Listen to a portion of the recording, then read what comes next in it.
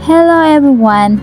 Hyunbin talks about life with Son Ye-jin after their second anniversary. Daddy Hyunbin now spoke about how his life has changed. In a new interview, the actor opened up about work and his life lately. Speaking with Dazed Korea via Soompi, Hyunbin shared that certain things in his life have changed and have impacted him. While he did not specifically mention these changes, Hyunbin words most likely surround his recent fatherhood experience.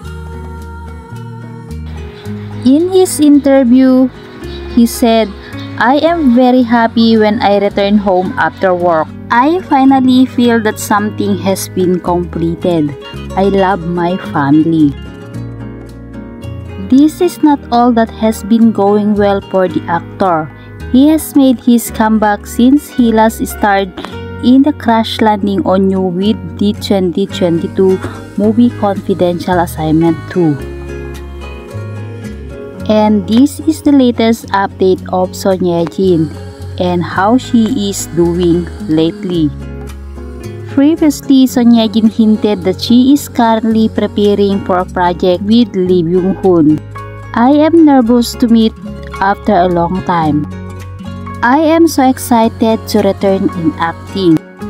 When I'm busy, Hyun Bin is the one taking care of our child.